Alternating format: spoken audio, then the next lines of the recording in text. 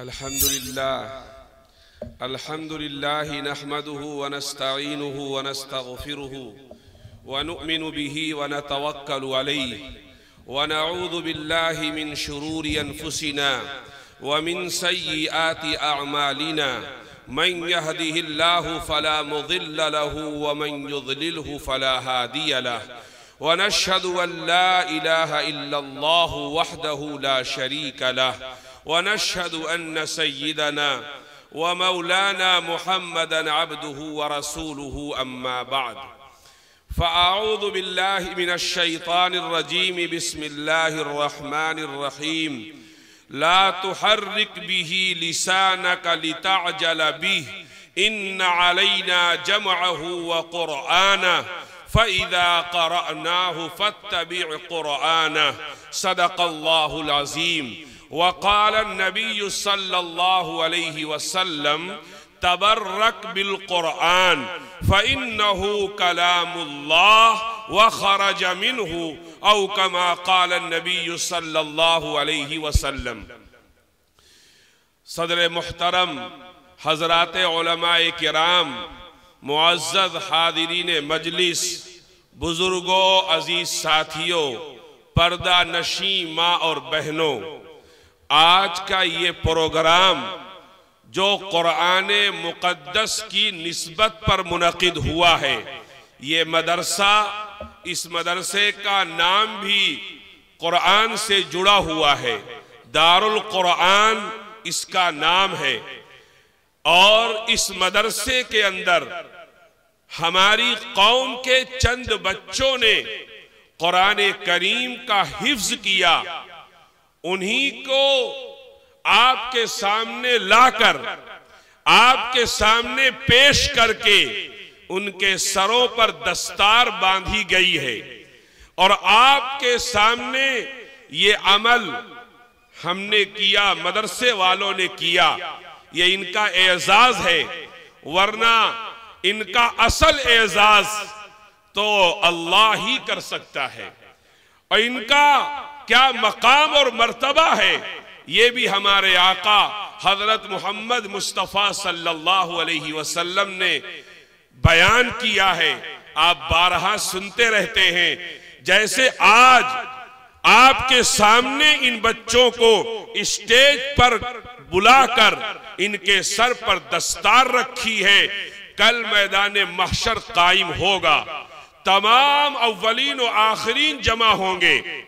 अंबिया की जमात मौजूद होगी, सहाबा की मुकद्दस जमात मौजूद होगी। आदम से लेकर कयामत की सुबह तक आने वाले तमाम लोग मौजूद होंगे। वहाँ, जहाँ हर एक अल्लाह को देखना चाह रहा होगा। कुछ ऐसे बदनसीब होंगे जिन्होंने दुनिया में अल्लाह को नहीं माना, वो अल्लाह के दीदार से महरूम रहेंगे। कल्ला इन जहाँ लोग अल्लाह को देखने के लिए तरस रहे होंगे, वहाँ अल्लाह इनको बुलाएगा, इनके वालिदैन को बुलाएगा। कितना मकाम है। हर आदमी रब्बुल आलमीन के सामने खड़ा है। और रब्बुल आलमीन इन हाफिज कुरान को बुला रहा है। इनके वालिदेन को बुला रहा है। और इन हाफिज कुरान से अल्लाह कहेगा, चलो, पढ़ो कुरान ये कुरान पढ़ना शुरू करेंगे। ये एक आयत पढ़ेंगे। अल्लाह इनके वालिदैन के एक दर्जे को बुलंद कर देगा। ये दूसरी आयत पढ़ेंगे। अल्लाह इनके वालिदैन का दूसरा दर्जा बढ़ा देगा। ये तीसरी आयत पढ़ेंगे। ये पढ़ते जाएँगे और इनके वालिदैन का दर्जा बढ़ता चला जाएगा।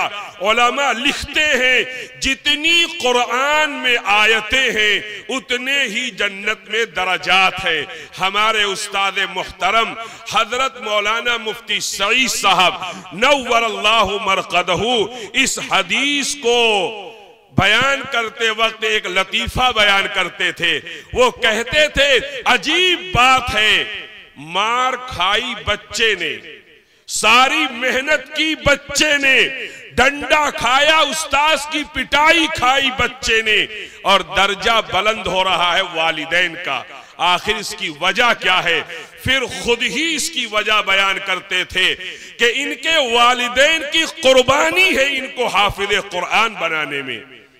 पहले तो चाहे समझ में ना आए, आज के दौर के अंदर, जबकि सारी दुनिया मॉडर्न तालीम के पीछे भाग रही है, लोग बड़ी बड़ी डिग्रियों को हासिल करने के लिए कोशिश कर रहे हैं।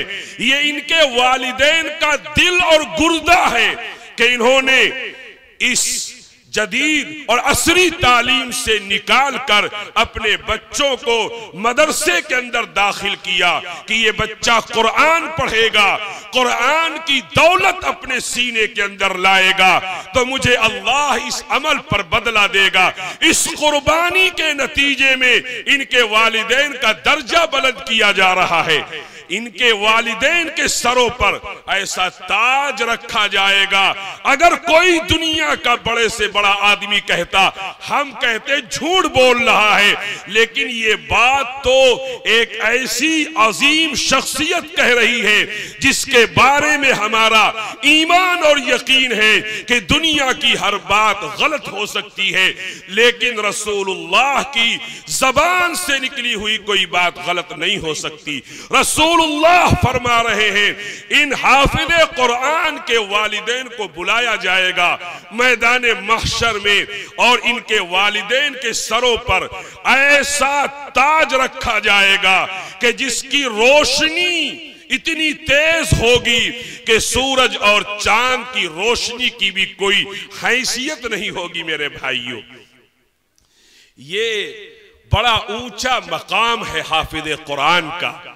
अगर आप इनके मकाम और मर्तबे का अंदाज़ा लगाना चाहें तो सुनो मुसलमान भाइयों, इस उम्मत के सबसे पहले हाफिज रसूलुल्लाह सल्लल्लाहु अलैहि वसल्लम है।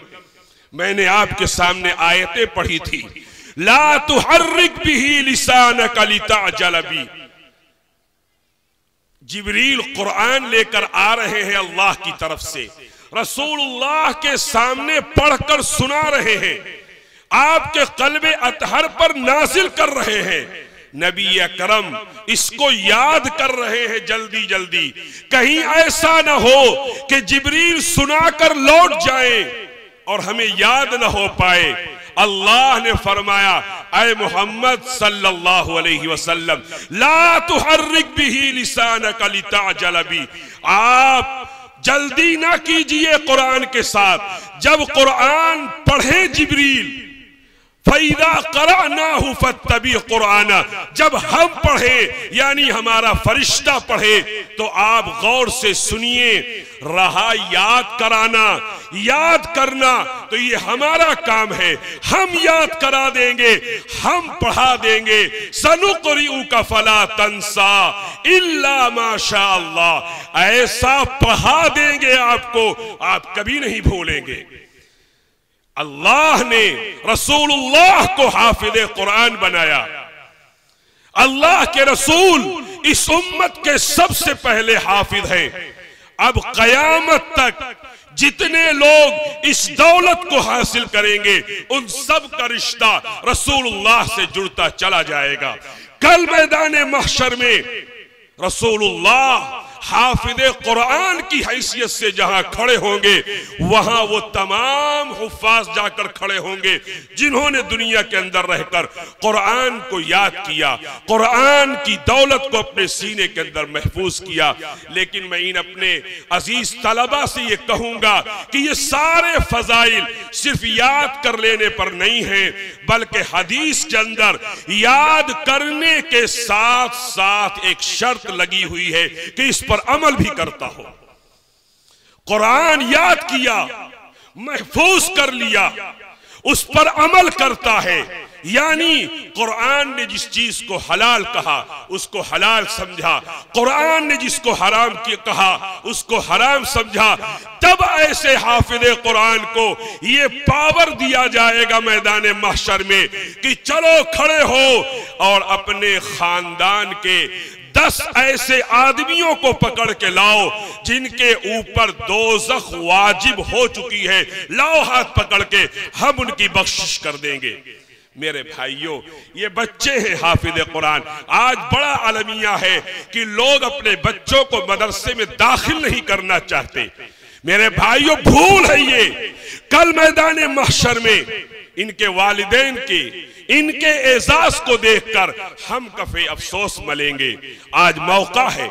मदरसे वालों ने इनको आपके सामने पेश करके आपके ज़मीन को जगाने की कोशिश की है कि अब तक अगर अपने बच्चों को हाफिल कुरान न बना सके हो तो ये मौका है।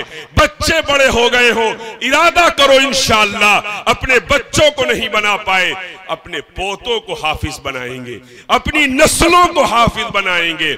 मेरे भाइयों, देख रहे हैं आप। इनके चेहरे को देखिए। क्या नूर बरस रहा है। कुरान की निस्बत का असर है। मुझे एक बात याद आई। इसी मुल्क के अंदर, अंग्रेज़ों के जमाने में एक साहब थे अंग्रेज़ी दा, डिप्टी नजीर अहमद। सर सैयद के जमाने के लोगों में से थे। इन्होंने एक कुरान का तर्जमा भी लिखा है। और उस तर्जमे के अंदर इन्होंने मुहावरात का इस्तेमाल किया। भटक गए तर्जमा करने में। हमारे अकाबिर ने इनकी तनकीद की है। हकीम उम्मत, मौलाना अशरफ अली थानवी नवर ने डिप्टी नजीर के तर्जमे के का ताकुब किया और उसके ऊपर एक रिसाला लिखा, इसलाहे तर्जमे दहलविया के नाम से। उन्हीं डिप्टी नजीर का एक वाकया है। पता नहीं कहा, उनको क्या सूझी। एक दिन लिख गए कि मदरसे के तलबा के चेहरे पर नहूसत टपकती है। मदरसे में पढ़ने वाले बच्चों के चेहरे पर नहूसत टपकती है।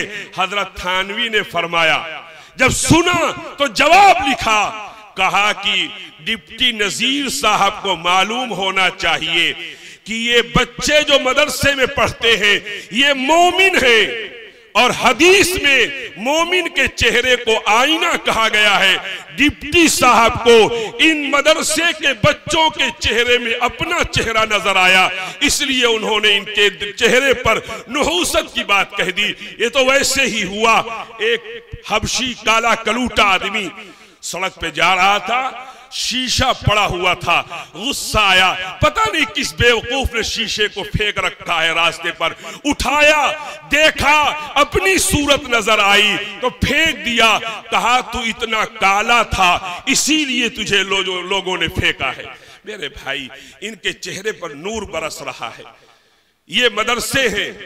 आज लोग पूछते हैं कि मदरसों ने क्या किया है। मदरसे क्या कर रहे हैं? बात देखो मेरे भाई, मदरसों का एक उनवान है। मदरसे का एक मौजू है। मदरसों का एक मकसद है। जब तक आप उस मकसद को नहीं समझेंगे बार बार मदरसों पर एतराज़ करेंगे। आप देखिए, मदरसों का मकसद क्या है?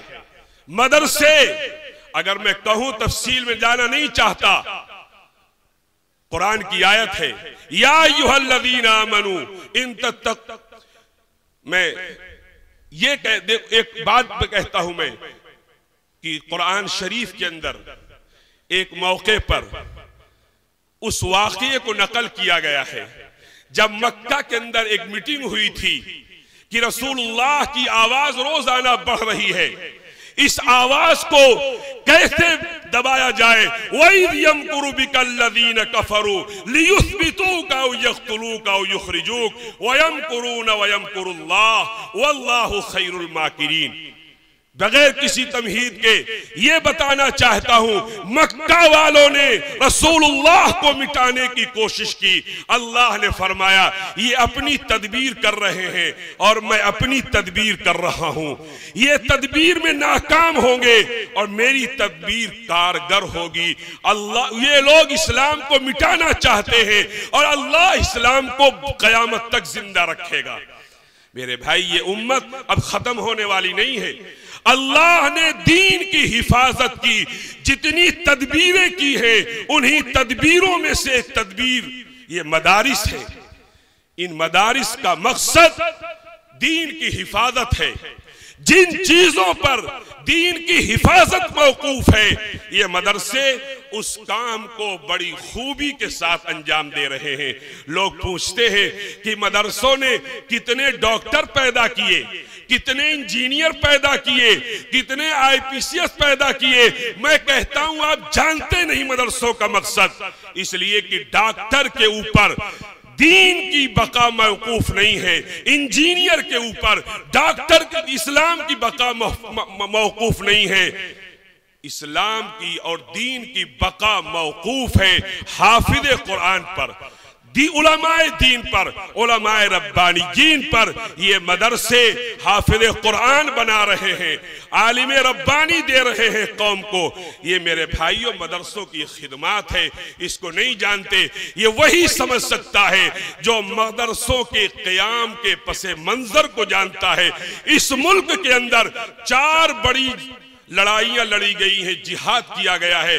और चारों में अल्लाह का फैसला ये था कि मुसलमानों को शिकस्त हो। चार अजीम जंगों में शिकस्त के बाद ओलमा जो थे, वो सर जोड़ कर बैठे और उन्होंने ये फैसला किया कि हम जगह जगह मदरसे कायम करेंगे, दीन को पढ़ाएँगे, दीन को सिखाएँगे। और ये मदरसे कोई नई चीज़ नहीं है, सारी दुनिया जानती है। जो लोग तारीख पढ़ते हैं, वो जानते हैं मक्का के अंदर। मक्का में अल्लाह के रसूल ने एक मदरसा खोला था, दार अरकम के अंदर।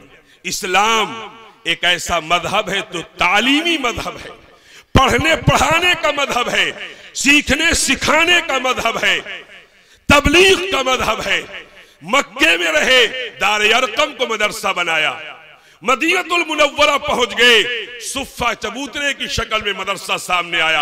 आज दुनिया में जितने भी मदरसे हैं, ये सब जाकर सुफा मदरसे से जुड़ते हैं मेरे भाइयों। इसलिए इन मदरसों की कदर करो, जिस दौर में हमारे अकाबिर ने मदरसों को कायम किया। एक माहौल था, एक पसे मंजर है। अंग्रेज़ मुसलमानों के घरों में जाते थे और ये कहते थे कि ये बच्चे हमें दो। हम मुफ़्त पढ़ाएँगे, मुफ़्त लिखाएँगे, कपड़ा देंगे, इलाज कराएँगे। यानी ये नाम के मुसलमान होंगे और जहनी एतबार से हम इनको ईसाई बनाएँगे। हमारे अकाबिर ने देखा इस सूरत हाल को, मचल गए कि वो बाप जो अंग्रेज़ की दुश्मनी में शहीद हो गया, आज उसी के बच्चे को ईसाई बनाने की कोशिश चल रही है। हमारे अकाबिर मैदान में आए, हम मदरसों को कायम करेंगे। कौम से ये कहा कि ये बच्चे हमें दो, अगर वो मुफ़्त पढ़ाने की बात करते हैं, हम मुफ़्त पढ़ाएँगे। वो कहते हैं, रहने की जगह देंगे, हम भी रहने की जगह देंगे। वो खाना देंगे, हम भी खाना देंगे। अंग्रेज़ अगर ये ऐलान करता, वो कर सकता था। मुल्क की के खजाने पर वो बैठा हुआ था। लेकिन ये बोरिया नशी ओलमा ये अगर कह रहे थे कि हम मुफ़्त में खाना देंगे, ये कैसे कह रहे थे? इनका भरोसा अल्लाह के ऊपर था। इन्होंने मदरसे की बुनियाद डाली और कौम को ललकार कर कहा अय मुसलमानों, सुनो, अगर ये मदरसे ज़िंदा रहेंगे, तुम ज़िंदा रहोगे, तुम्हारी नस्लें ज़िंदा रहेंगी। अगर ये मदरसे खत्म हो गए तो न तुम्हारे दीन की, न तुम्हारे नस्लों के दीन की कोई गारंटी नहीं है। इसलिए मेरे भाई आज भी मदरसे ये मुसलमान चला रहे हैं, चंदा दे देकर। मेरे भाई, एक बात में और अब कहता चलूँ, देखिए, कोई घबराने की ज़रूरत नहीं है। हालात इससे पहले भी आए हैं, अब भी आए हैं, आते रहेंगे। लेकिन मुसलमान वो कौम है जिसके मज़हब के अंदर मायूसी और नाउमीदी को कुफ्र से ताबीर किया गया है। मुसलमान नाउमीद हो जाए मुसलमान मायूसी का शिकार हो जाए, हालात आएँगे। और फिर हमारे ऊपर तो रसूलुल्लाह सल्लल्लाहु अलैहि वसल्लम की दुआ है। अरफात के मैदान में रसूलुल्लाह सल्लल्लाहु अलैहि वसल्लम ने दुआ की थी कि आए अल्लाह, मेरी उम्मत को किसी जालिम और जाबिर बादशाह के ज़रिए खत्म ना कराइएगा। ना ये कि सिर्फ़ दुआ कबूल की अल्लाह ने बल्कि अरफात ही के मैदान में जिबरील अमीन को भेज कर ये बशारत सुनवाई कि आए मोहम्मद तो आपकी दुआ कबूल हो गई है और अल्लाह ने ये फैसला कर लिया है कि आपकी उम्मत कयामत तक ज़िंदा रहेगी। आपकी उम्मत को कोई खत्म नहीं कर सकता। हमारे नबी ने यह कहा है, ये दुनिया उसी दिन खत्म होगी, जिस दिन इस दुनिया में, इस ज़मीन पर एक आदमी भी अल्लाह अल्लाह कहने वाला नहीं होगा। इसलिए मेरे भाइयों, घबराने की कोई ज़रूरत नहीं है। ये बात ज़रूर है कि अपने रिश्तों को अल्लाह से मज़बूत किया जाए। अपने ताल्लुक को अल्लाह से मज़बूत किया जाए। कैसे करेंगे? इमाम अहमद इब्न हम्बल रहमतुल्लाह चार इमाम गुजरे हैं बड़े बड़े मशहूर। उन चार में एक इमाम अहमद इब्न हम्बल रहमतुल्लाह हैं। एक दिन ख्वाब में अल्लाह को देखा। ख्वाब में अल्लाह की जियारत की। इमाम अहमद इब्न हम्बल रहमतुल्लाह ने मसला वादह करता चलूँ। बेदारी की हालत में कोई इस दुनिया में रहते हुए अल्लाह को इन आँखों से नहीं देख सकता। लेकिन ख्वाब के बारे में अगरचे कुछ उलमा ने इख्तलाफ किया है, लेकिन जुमहूर का कहना यह है कि ख्वाब में अल्लाह को देखा जा सकता है।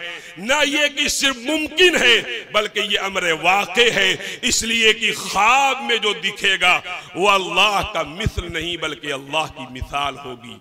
मेरे भाइयों, इमाम अहमद इब्न हम्बल ने अल्लाह को ख्वाब में देखने के बाद कहा कि अय अल्लाह, वो कौन सी चीज़ है, वो कौन सा अमल है कि जिसको मैं इख्तियार करूँ तो आपका कुर्ब मिल जाए, आपकी कुर्बत नसीब हो जाए। अल्लाह ने जवाब दिया इमाम अहमद इब्न हम्बल को कि अगर मेरे करीब आना चाहते हो, मेरा कुर्ब चाहते हो तो मेरी किताब से अपना रिश्ता मज़बूत करो, मेरे कुरान को अपनी ज़िंदगी के अंदर लाओ। जो जितना कुरान से करीब होगा, उतना ही वो अल्लाह से करीब होगा। इसलिए मेरे भाइयों, आज ज़रूरत है इस बात की कि हम अपना रिश्ता कुरान से मज़बूत करें। वो मुआज़ थे जमाने में मुसलमान होकर। वो मुआज़ थे जमाने में मुसलमान होकर। और हम खार हुए तारीख कुरान होकर। मेरे भाइयों, कुरान से रिश्ता मज़बूत करना चाहिए। मैं इन बच्चों के वालिदेन को ये इतमान दिलाता हूँ कि आप मन छोटा ना कीजिए। दुनिया कहती है, कहने दो कि हाफिज बनाओगे, क्या खाएगा? आपने अपने बच्चों को ऐसी दौलत दिलवाई है, दुनिया की हर चीज़ बेवफा हो सकती है। न कुरान बेवफा है, न साहिब कुरान बेवफा हो सकता है। कल आप मरेंगे, सारी दुनिया मरेगी। और ये तो एक ऐसी हकीकत है कि आज तक किसी ने इसका इनकार नहीं किया है। और इस हकीकत को एक दुर्वेश ने बड़े ही आसान लफ्जों में समझा दिया। एक फकीर पगड़ी बाँध के खड़ा था, एक चोर आया और उसकी पगड़ी लेकर शहर की तरफ़ भाग गया। ये फकीर बजाय इसके कि चोर के पीछे भागता। इत्मीनान के साथ कब्रस्तान की तरफ़ लौटा और गेट पर जाकर इत्मीनान से बैठ गया। लोगों ने कहा, बेवकूफ़ है, तेरी पगड़ी लेकर शहर की तरफ़ गया है और तू कब्रस्तान में क्या कर रहा है? बड़ा बेहतरीन जवाब दिया उस फकीर ने। चाहे जहाँ चला जाए, चाहे जिस तरफ़ भाग कर जाए, लौट कर यही आएगा। मतलब ये सबको मरना है। मेरे भाइयों, हम जब मरेंगे इनके वालिदेन दुनिया से जाएँगे। ये बच्चे अगर ज़िंदा रहे, आपकी कबर पर जाएँगे, कुरान पढ़ेंगे और कुरान पढ़ के आपको सवाब पहुंचाएँगे। अल्लामा जलालुद्दीन सुयूती नवर अल्लाह मरकदहू बहुत बड़े आलिम गुजरे हैं। इन्होंने किताब लिखी है, तफसीर की, अद्दुर्रुल मंसूर उस किताब के अंदर अल्लामा जलालुद्दीन सयूती नवरकदहू ने एक वाकया लिखा है बड़ा अजीब गरीब। एक माँ थी उसका इंतकाल हो गया। उसका बच्चा हाफिज कुरान था। रोज़ाना अपनी माँ की कबर पर जाता था। आधा सिपारा पढ़ता था और माँ को सवाब पहुंचाकर वापस आता था। महीने गुजर गए, साल गुजर गए। अपने मामूल के मुताबिक रोज़ाना जाता, आधा सिपारा पढ़ के कुरान बख्शता था। एक दिन माँ ख्वाब में नज़र आई। माँ ने ख्वाब में आकर अपने बेटे और लखते जिगर से कहा कि अय बेटा, जब तू मेरी कबर पे आया कर तो आते ही कुरान पढ़ना शुरू मत किया कर। लड़का फ़ौरन बोल उठा कि माँ आखिर क्या बात है? आप ऐसा क्यों कहती हैं कि मैं आपकी कबर पर आऊँ तो आते ही कुरान ना पढ़ूं, बल्कि कुछ देर खामोश रहूँ। माँ ने जवाब दिया, बेटा, जब तू मेरी कबर पर आता है और आते ही पढ़ना शुरू कर देता है तो तेरे मुँह से लेकर मेरी कबर तक इतने अनवार होते हैं कि उस नूर की फरावानी में मुझे तेरा चेहरा नज़र नहीं आता। इसलिए कह रही हूँ, जब आया कर कुछ देर खामोश खड़ा रहा कर, ताकि मैं तुझे देख सकूँ। मेरे भाइयों, इस ज़मीन पर रहकर दूसरी दुनिया की तैयारी करो। ये दुनिया तो किसी न किसी तरह गुजर जाएगी। सहाबा का यही इम्तियाज़ था। सहाबा का यही इम्तियाज़ था कि उन्होंने दुनिया गुजार ली, लेकिन आखरत को चमका कर चले गए। मेरे भाइयों, रसूलुल्लाह मेराज में गए हैं, सल्लल्लाहु अलैहि वसल्लम। और मेराज में जाने के बाद अल्लाह ने जन्नत भी दिखाई, जहन्नम भी दिखाई। जन्नत देख रहे हैं, जन्नत की हर चीज़ देखने के लायक है। लेकिन उन तमाम मनाजिर में देखते देखते रसूलुल्लाह एक महल के पास पहुंचकर खड़े हो गए। इतना शानदार महल है। इतना शानदार महल है कि रसूलुल्लाह रुक गए और रुक कर जिब्रील से पूछा, जिब्रील, ये महल किसका है?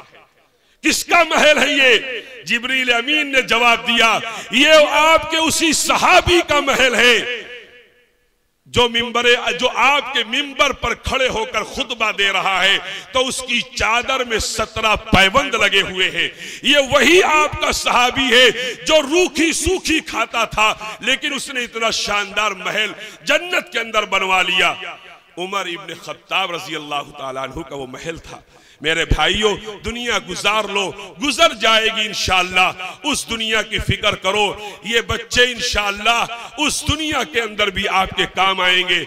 जब कोई चीज़ साथ नहीं जाएगी, तब भी ये ये अमल आपका आपके साथ कब्र के अंदर भी जाएगा। इसलिए कि हमारे आका हज़रत मोहम्मद सल्लल्लाहु अलैहि वसल्लम ने ये बताया है हमको कि जब आदमी मर जाता है तो तीन चीज़ें उसके पीछे रहती हैं।